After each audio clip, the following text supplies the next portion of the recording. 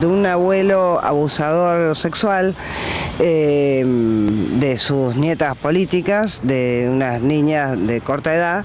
Y mm, bueno, en la Cámara eh, le otorgaron la probation, 30 eh, horas de trabajo comunitario, un tratamiento psicológico, este, que bueno, que tampoco, digamos, satisface los requerimientos de los compromisos internacionales en materia de derechos humanos y de mujeres. Bueno, ¿cuál fue la respuesta? Y aparte justamente en repudio a esta situación, ¿no? Claro, dimos nuestras este, razones eh, jurídicas, políticas, eh, de por qué no, digamos, no es una idea nuestra, son justamente los compromisos y recomendaciones de los organismos de, este, de derechos humanos y mm, bueno, esperamos que el superior tenga en cuenta esas argumentaciones y otras para denegar la probation en los casos de violencia de género.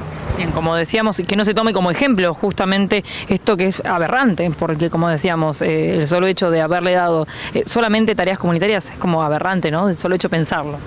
Sí, además, este, como es la suspensión del juicio, no llega a sancionarse, no llega a tener antecedentes y en eso eh, es uno de los, de, los puntos, porque el Estado está comprometido a prevenir, este, investigar y sancionar la violencia de género. En este punto no se estaría sancionando.